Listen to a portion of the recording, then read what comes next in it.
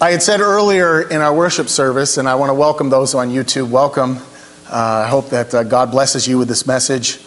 Um, I want you to know that we serve an awesome God, and and and and victory is ours. There there there is no doubt uh, of that of this fact. The Word of God has made it very clear. We've seen that in 1 Corinthians 15, that Jesus Christ has already purchased the victory for us. We're just waiting for the flesh to realize it's over. It's like a chicken running around with its head chopped off. It, does, it thinks it's still alive, but it's not. It's dead. And it's just a matter of time before we, uh, we realize that completely. So let's turn in our Bibles to 1 Thessalonians chapter 5, and we're going to look at the first 11 verses. 1 Thessalonians 5 1. But concerning the times and seasons, brethren, I have no need that I should write to you. For you yourselves know perfectly that the day of the Lord so comes as a thief in the night.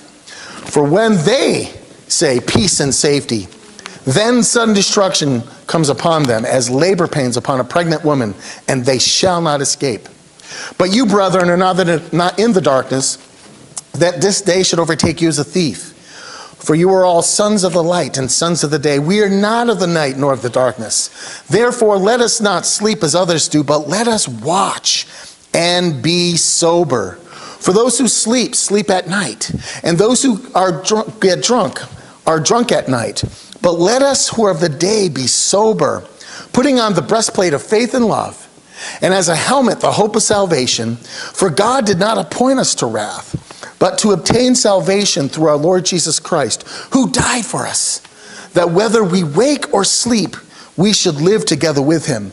Therefore, comfort each other and edify one another, just as you are also doing. Father, we invite your Holy Spirit to come and to open up the scriptures to our understanding. We pray, Father God, that you would give us the, the zeal and the desire to not just hear your word, but to obey your word, to do your word, to love your word. Holy Spirit, we ask that you would lead us and guide us into the truth. We ask that you would reveal Jesus Christ to us. We pray that you would flame, inflame the fire that is within us, Father. We ask that you would fan that flame and that it would burn brightly, Father God, that we would be a light in a dark world.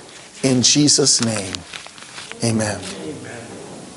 Let me tell you something. I, I was so excited about last week. Whenever someone uh, accepts Christ as Lord and Savior in this place, man, I, it, it, I'm high all week long on, on, a Jesus buzz that just doesn't quit, you know. And and today we are taking a look at a continuation, really, of that message. Because we looked at 1 Thessalonians 4, we looked at the rapture of the church and how Jesus is coming for us, and how the dead in Christ will rise first, and how we who are alive and remain will meet them in the clouds, in the air, which is a slam dunk on Satan's territory because he's the prince of the power of the air. And we're going to meet the Lord, and we're going to be with the Lord forever. And you know, we, we continue, Paul continues on with that theme in this chapter because you need to understand something. The chapters and verses weren't put in until the Middle Ages.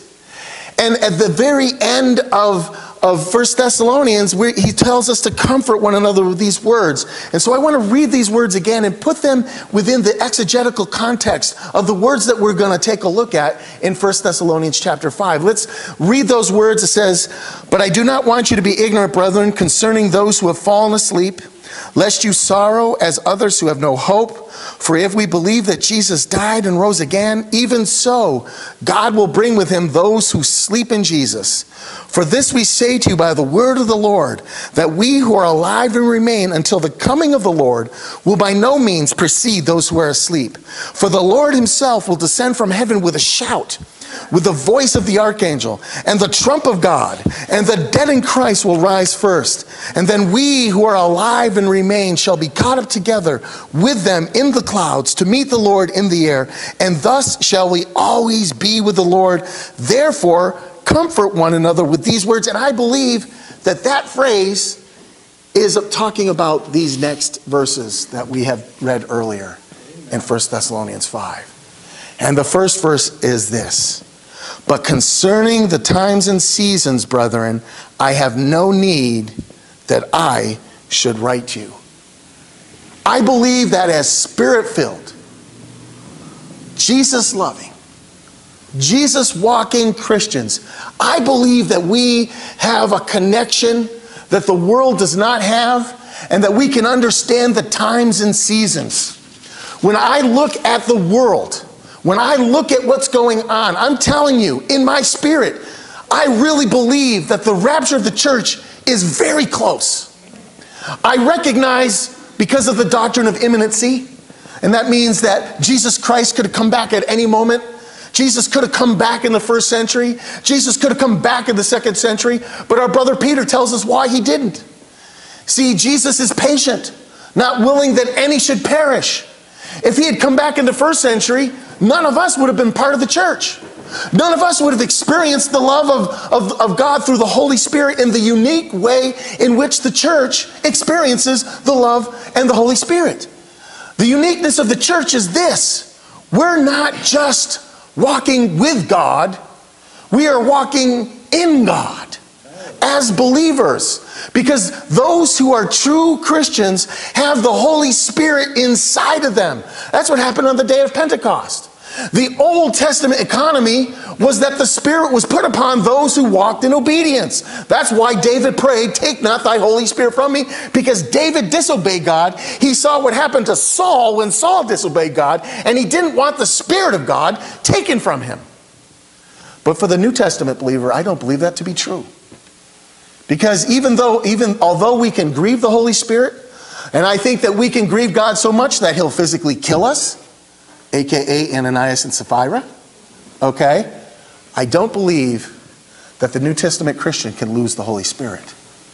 Because Ephesians 4, verse 30 says, Do not grieve the Spirit with whom you were sealed until the day of redemption. Who does the sealing? God does.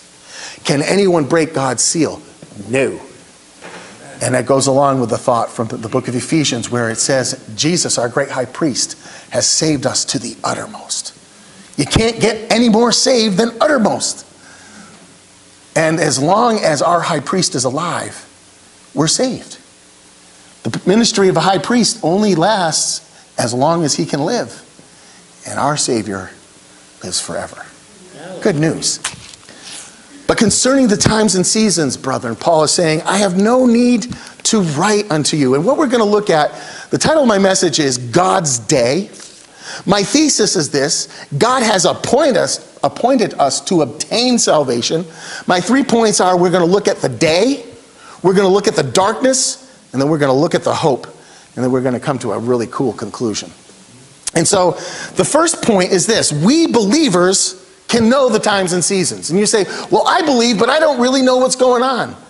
Well, seven times in the book of Revelation, Jesus, who authored, he didn't write down, but he had John write down seven letters to the seven churches. Seven times he said, Let him who has ears hear what the Spirit is saying to the churches. God is talking. Are you listening? And I believe that the best way that we can listen is through study of God's Word, through spending time worshiping God, learning how to hear the voice of the Spirit, spending time in meditation, studying God's Word doctrinally, but also studying it devotionally. And if we do this, I don't see how we can't see what's going on. I believe that God wants us to be like the Old Testament sons of Issachar, who understood the times and seasons in which they lived. I believe that the church needs to know the times and seasons. And the reason why we don't is because we're not running the race we're supposed to be running. And so Paul says, but concerning these times and seasons. Now, in verse 2, what does he say? He says this You yourselves know perfectly that the day of the Lord so comes as a thief in the night. Paul here is talking about God's oncoming judgment. God's judgment upon the world to them is going to come like a thief in the night. But to you, it's not.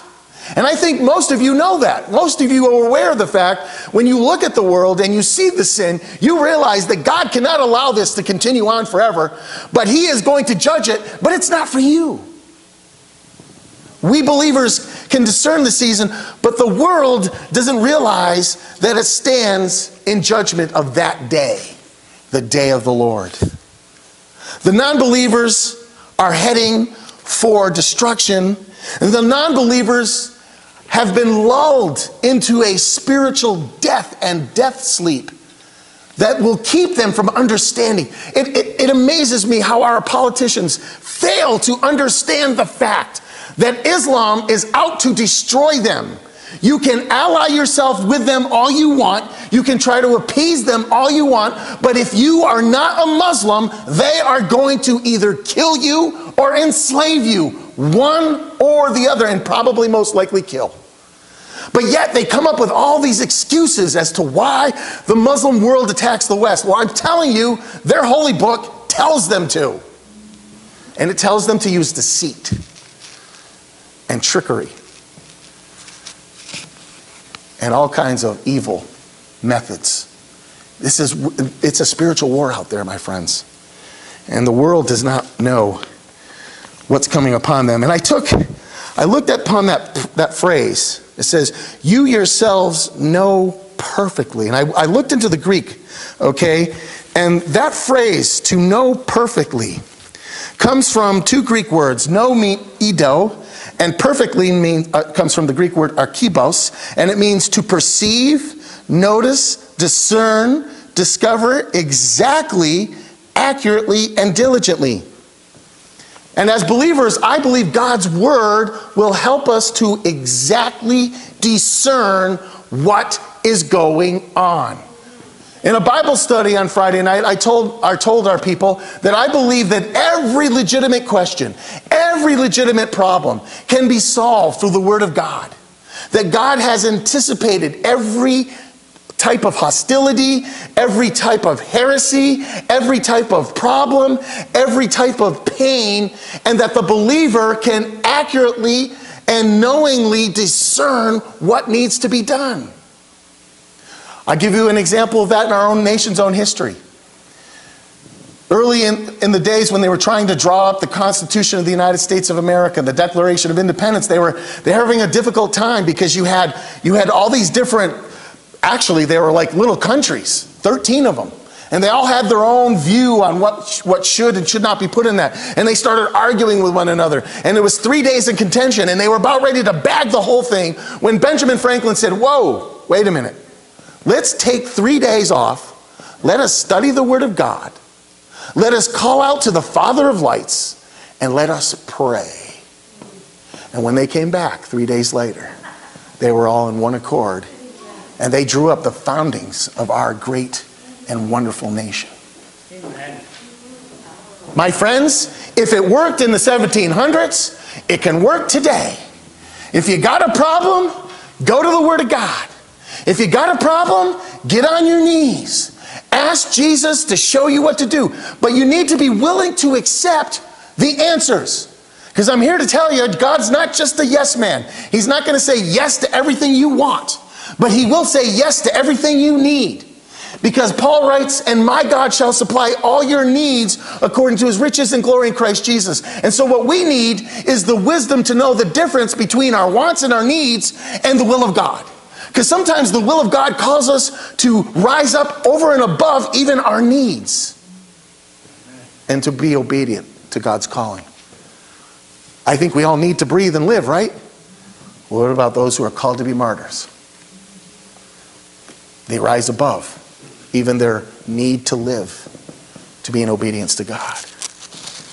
And I believe that if we have the attitude of the Christians that the believers during the tribulation, it says that they overcame Satan by the blood of the Lamb, the word of the testimony, and the fact that they did not love their lives to the death. See, we always quote the first two the blood of the Lamb and the word of the testimony. We always leave out that third one conveniently, right? You know what? You need to surrender your life to God's life, Amen. even if it means death and persecution. When I was a kid, uh, attending junior high school at Gateway. I got saved when I was in sixth grade. I was 11 years old. And, and when I was in fifth grade, I was kind of unruly. I almost started smoking pot with my friends and stuff. Um, and, and I had some unruly friends. And then I got saved, and I was excited about being saved. And I started telling these friends, and they didn't like it. Not one bit. And so the very people that I hung out with and were friends with all of a sudden became my worst enemies. And one guy took it upon himself to put me in a headlock and started punching me in the head because there was a classroom where I was arguing with the whole class about creation versus evolution. And I stood up and said, No, I am not a descendant of a monkey. Maybe the rest of you are, but I am not.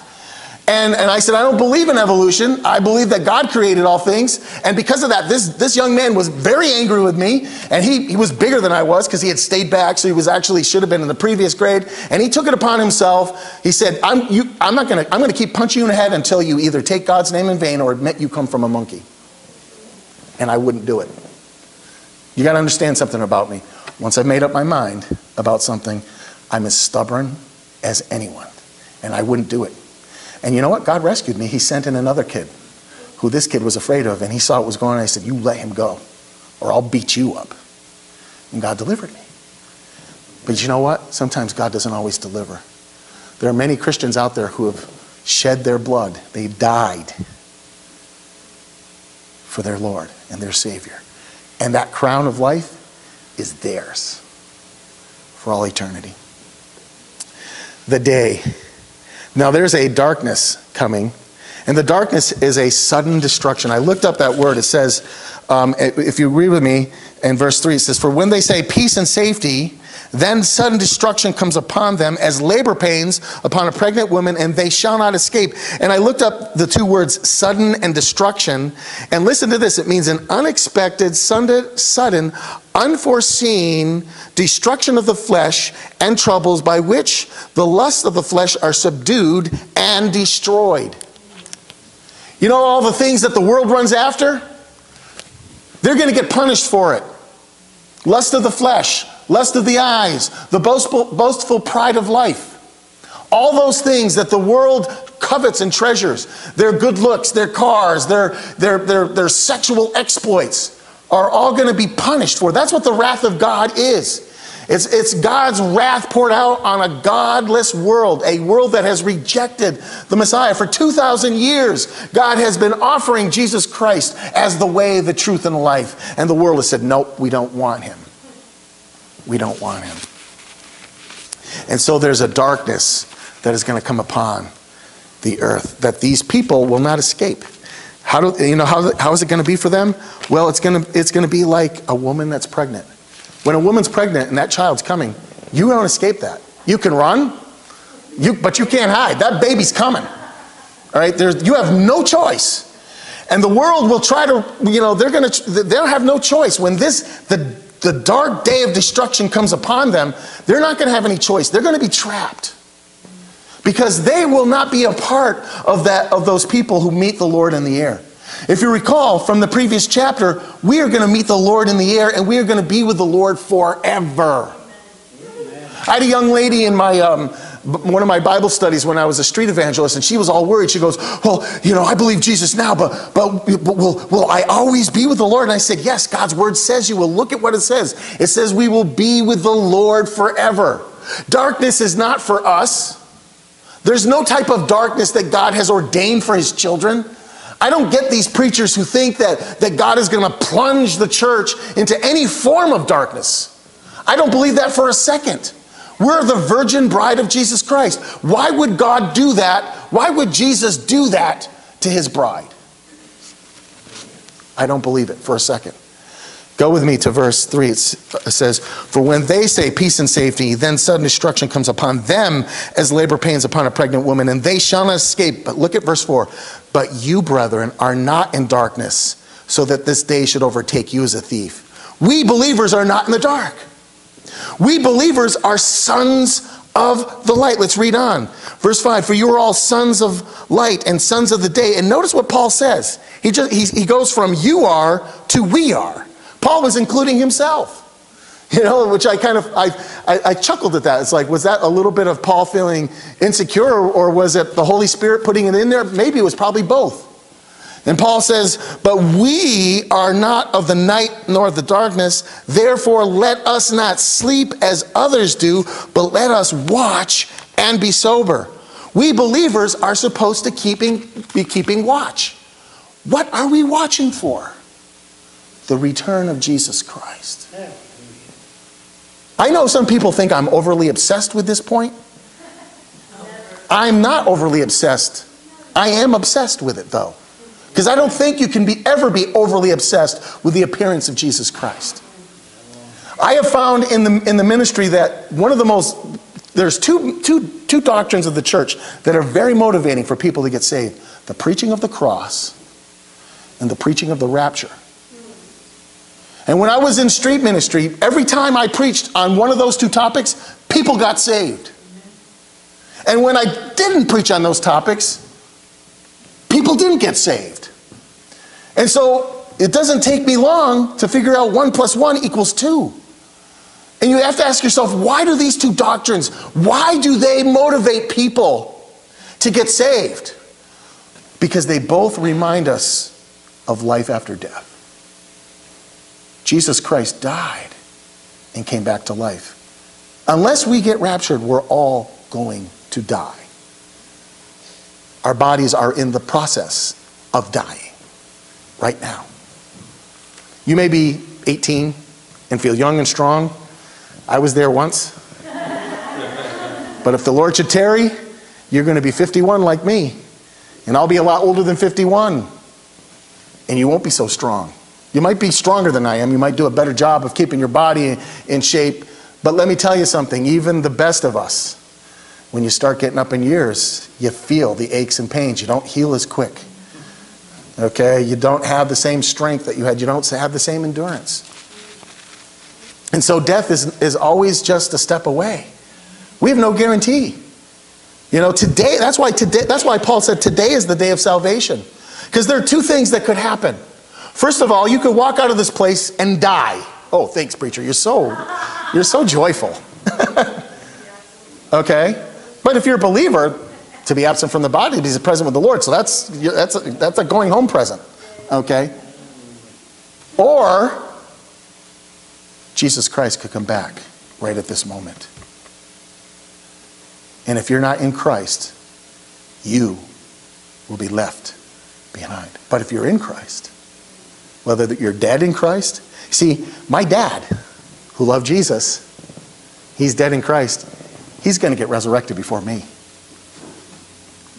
The difference will be a twinkle of an eye. Not that much of a difference, but he is going to get resurrected before me. And so is my Uncle Rick, and my grandmother Olive, and my Grandpa Gilbert, and my Aunt Pat, my Uncle Frank. I'm not so sure about my Uncle Sam. And I'm not talking about the United States of America. I'm actually talking about I have an Uncle Sam, or had, or had an Uncle Sam. Okay? I know Wendy's grandmom is, is going to be. And see, that's why for the Christian, we always have hope. Amen. Even in the throes of death, we have hope. It's win win for the believer. We believers are to keep watch with a sober mind that we are not overtaken by darkness. I looked up that word sober, and it comes from the Greek word nepho, which means to be calm and collected in spirit. If you're worried about your salvation, how calm and collected can you be? See, I don't worry about my salvation. I know it's secure. I know whom I've trusted. I know He is able to keep that which I have committed to him until that day. I know it is he who works in me according to his good pleasure. I know that I'm supposed to work with that. Because the previous verse says that we are to work out our salvation with fear and trembling. But if you go into the Greek, the inference is that we what we what we do is we're supposed to work on the outside as a mirror reflection of what has already happened on the inside. In other words, we're supposed to live out our salvation so that people can see that we're truly saved. And that goes along with the Great Commission. When Jesus was leaving the disciples, what did he say to them? Hide in your convents, whip yourself, and fear that you, you'll lose your salvation? No. He said, Go into all the world and preach the gospel, the good news. And the good news is that Jesus Christ is the Savior of sinners. You can't save yourself. There's nothing you can do to save yourself. All you can do is surrender and let God save you. It's an unconditional surrender. You don't get to choose the conditions. You surrender to Him unconditionally, and then He tells you the conditions. And we don't like that. I didn't like some of the conditions that God wanted on me. God said, I want you to be a preacher. I said, I don't want to be a preacher. And God said, You will be a preacher. And I said, I'll run away from that. And God said, I will chase you. And I will take your appetite away from you. And I'll take your sleep away from you. And I'll dog you until you are so weary, you'll say, okay. And that's exactly what God did. See, if the hound of heaven is chasing you, you can't hide from someone who knows everything, who is everywhere, and who loves you. God loves you. God loves you. So we're not called to darkness, we're called to hope. Go with me to verse 4. It says, or uh, verse 7, excuse me. For those who sleep, sleep at night, and those who get drunk, get drunk at night. But let us who have the day be sober, putting on the breastplate of faith and love, and as a helmet, the hope of salvation. See, I have hope. I want you to know something. No matter how bad it gets on this planet for me or for any other believer, this is the worst it will ever be for us. We have a future glory. Romans 8 says that our present suffering is nothing compared to our future glory. If you've seen that movie, The Tip of the Spear, where those missionaries went into the, the, into the jungles of South America and gave their lives. And they said something to this effect. They said, He is no fool who surrenders something that he can't hold on to. That's a loose quote. But basically, what they were saying is we can't hold on to our lives, we don't control our lives. Only God controls our lives. So if we sacrifice something we can't control to gain something that will never be lost, we're not fools. And if you will serve God, if you will walk with the Almighty, if you will walk in the power of the Holy Spirit, if you will d- dive into the Word of God, if you will let faith take root in your heart, if you will believe that there is a bright future for you, if you put your trust in Jesus Christ, if you bring your prayers and supplications with thanksgiving to the Lord, He promises you to guard your heart with a peace that passes all understanding. The world does not have this peace. The world is crying for peace, and they're going to finally think that they've got peace. Peace, safety, and then sudden destruction is going to come upon them. But you, brethren, me, brethren, we do not have that darkness. That is not our destiny. We are not appointed to wrath. We're not appointed to suffer God's wrath. We only have to endure the world's wrath and the devil's wrath. But we are not called to suffer God's wrath. Amen. Not one iota. And one of the cool things that the Holy Spirit showed me as I was meditating, we did a series not long ago in the book of, of Hebrews. And we went through, you know, the entire book, starting chapter one all the way through to the end of the book. And in the book of Hebrews, it says that Jesus Christ suffered God's wrath once. Amen. Once. Never to suffer his wrath again. We see that spelled out in the Garden of Gethsemane when Jesus asked the Father, If there be any other way, let this cup pass from me. What cup? The cup of God's wrath that was poured out on him, that made him sin for us, so that we could be the righteousness of God. And when Jesus became sin for us, he screamed out in agony, My God, my God, why have you forsaken me? Because when Jesus became sin, fellowship between him and the Father was broken. And for the first time in all of Jesus' ministry, instead of referring to the first person of the Trinity as Father, he called him God. Because relationship had been broken for you and for me. He became sin for us that we could become the righteousness of God. I, every time I sing about the lamb being slain, it brings me to tears because I know the depth. Actually, I, I think I know. I, I feel his pain as well as I can as a limited human being. The fact that he had fellowship broken. The only time. But the, the story doesn't end there. He descends into hell. It seems to get worse. But what does he do in hell? He preaches to the captives. He tells the captives in Abraham's bosom, You're coming with me because you believe in me. And he preaches to the captives in the bad part of hell and say, Your fate is sealed. You are going to burn for all eternity. Because Jesus made it very clear. He said, Unless a man is born of the Spirit and the water, he cannot enter the kingdom of God. Amen. Faith comes by hearing, and hearing by the Word of God. The water represents the Word of God. When we see God's Word, when God's Word shows us that we are sinners and that we need a Savior, and we accept it, and we believe in Him, and we confess Him, and we put that into our hearts, we're saved. That's it. End of story.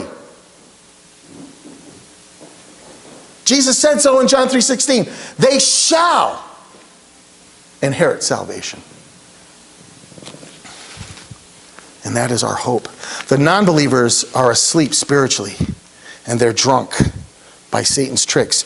We believers have the breastplate of faith, right? We believers have the helmet of salvation, the salvation of hope.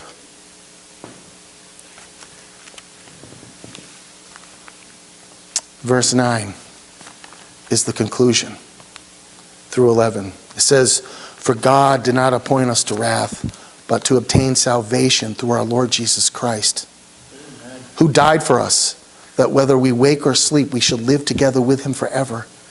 Therefore, comfort each other and edify one another, just as you are all doing. We're not appointed to suffer God's wrath, not any of it. Let me get back to my point of Hebrews. I, I kind of got derailed from that. Jesus suffered God's wrath once on the cross, never to suffer that wrath again. Jesus also is connected to you and I. How do I know that? The Word of God says so. Read Jesus, the real Lord's Prayer in John 17. And Jesus prays, prayed that we would all be one together as He and the Father is one. He prayed that we would be one with Him, that we would be one with the Father, that we would be one with the Holy Spirit. See, the church and God are connected supernaturally, organically, emotionally. Ephesians chapter 2 says that we are seated with Christ in heavenly places. And the scriptures bear that out because in the book of Acts, when Saul was persecuting the church, Jesus didn't say to Saul, Saul, Saul, why do you persecute my church? He said, Saul, why do you persecute me? So that means anything the church is going through, Jesus is going through. Jesus is there with the martyrs. And he knows what it feels to die. There's, he has a whole letter written to those people telling them, don't fear death. I've died and now I'm alive. It's okay. I've done it. You can do it. And so everything the church goes through, Jesus goes through. So if any part of the church was to be in any part of the tribulation, the time of God's wrath, any part of it, then Jesus would be suffering God's wrath a second time. And the book of Hebrews is not true. And I'm here to tell you that's not, we are not appointed. Do you believe that? I do. I don't have a hard time believing it when God's word says it. But we don't, we're so cynical, we're so jaded, we, we don't really sometimes trust God's promises. And I believe that's why we get depressed. I believe that's why the church is carnal. I believe that's why we see defeat instead of victory, because we don't take the word of God for what it says. We try to explain it away. And maybe it's because we're not living it. and we're looking for excuses for our own personal failures. I don't know. That's between you and God. But we're not appointed to suffer God's wrath. In fact, we are appointed to be saved. And my thesis is this God has appointed us to salvation. And I want to share with you, I took the, the, opportunity to look up that word salvation in the Greek. And it comes from the Greek word soteria, which is where we get the uh, theological term soteriology, the study of salvation. And check it out. This is what this word means deliverance from the molestation of enemies, messianic salvation, salvation as the present possession of all true Christians, future salvation, the some benefits and blessings which the Christians redeemed from all earthly ills will enjoy after the visible and return of, of Christ from heaven in the consummate and eternal kingdom of glory. In other words, it's a salvation that is a salvation now salvation.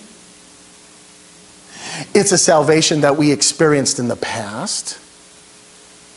And it's a salvation that we will also experience in the future. In fact, there's the fourfold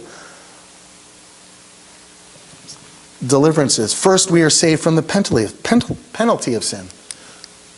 That happens when we ask Christ into our heart and become born again. We call that salvation.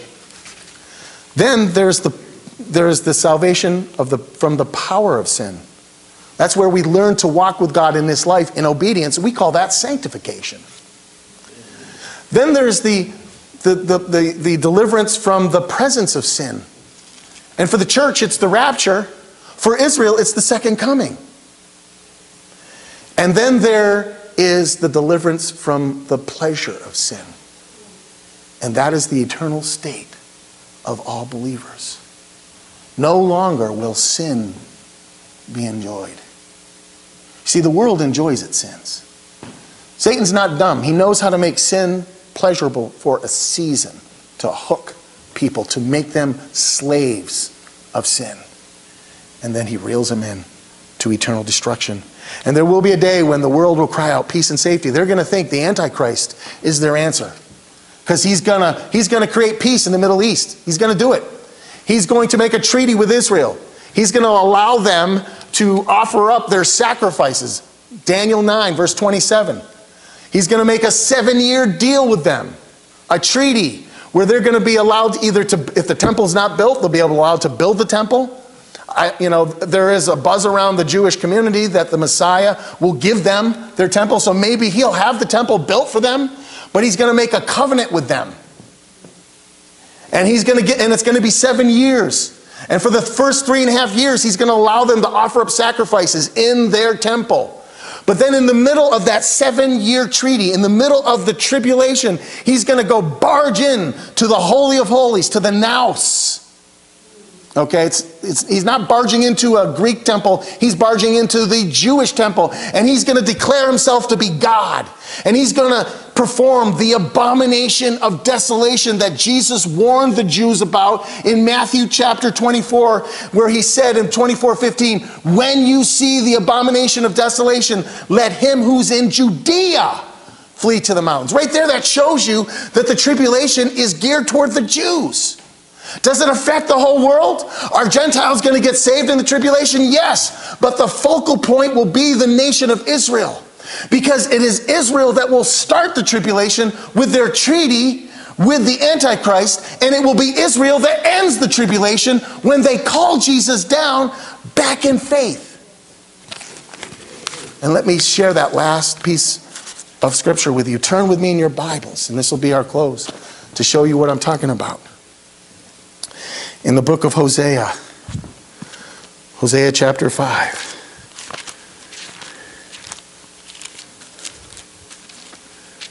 In the first part of 6,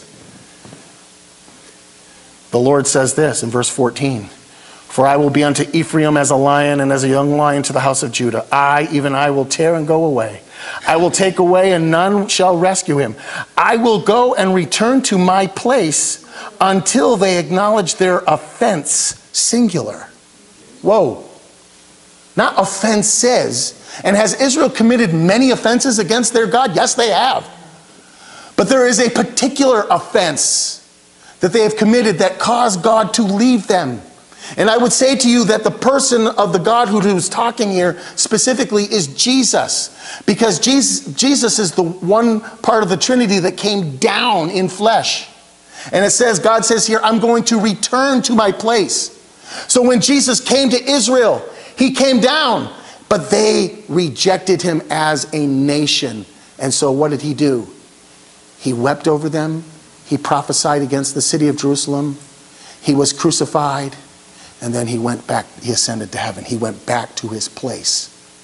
And he's not coming back until Israel repents from that offense.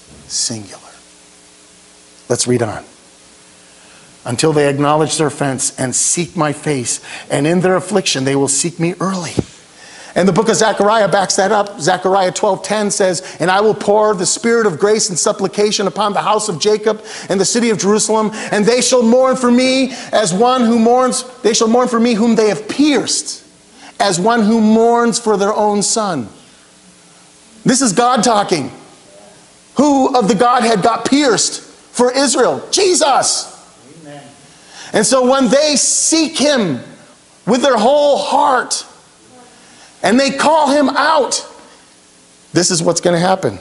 Let's read chapter 6, verses 1 through 3. Come, let us return unto the Lord. This is Israel talking now. For he has torn, and he will heal us. He has smitten, and he will bind us up.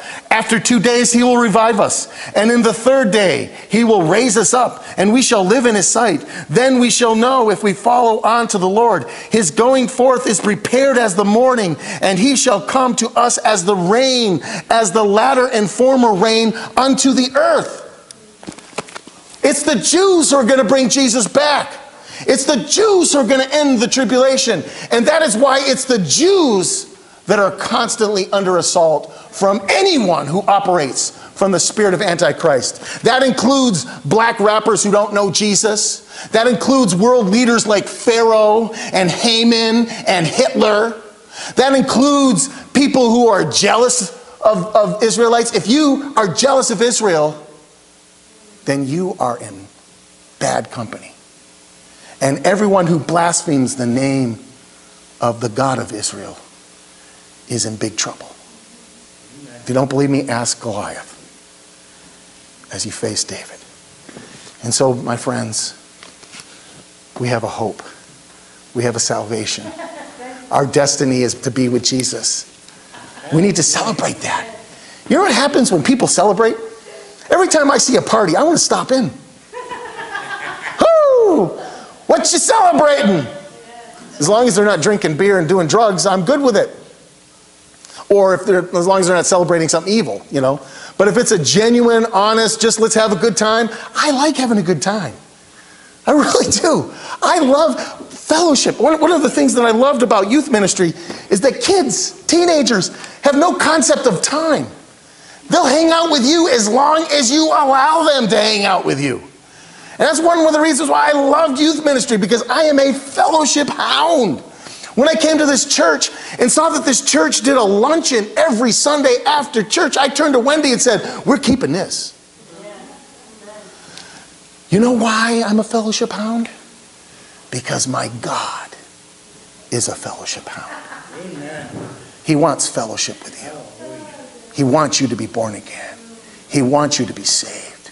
He wants you to have an eternal destiny that is glorious. And if you don't end up with an eternal destiny that is glorious, it's your own fault.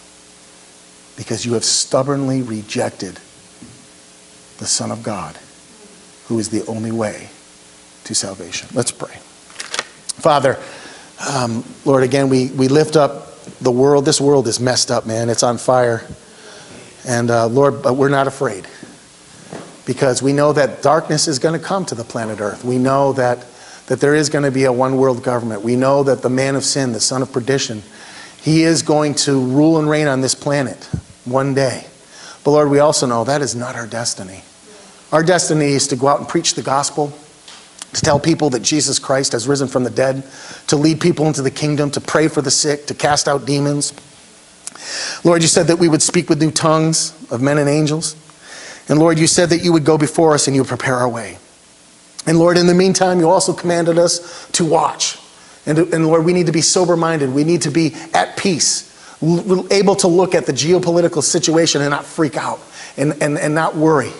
And so, Father God, I ask in Jesus' name that we here at First Congregational Church in Otis, Massachusetts would be such people that have walk in the peace of God, that we know the will of God, that we would anchor ourselves in the Word, not in the latest fad that's being peddled out there by, uh, by theologians, but Lord, the fact that your Word means what it says and says what it means.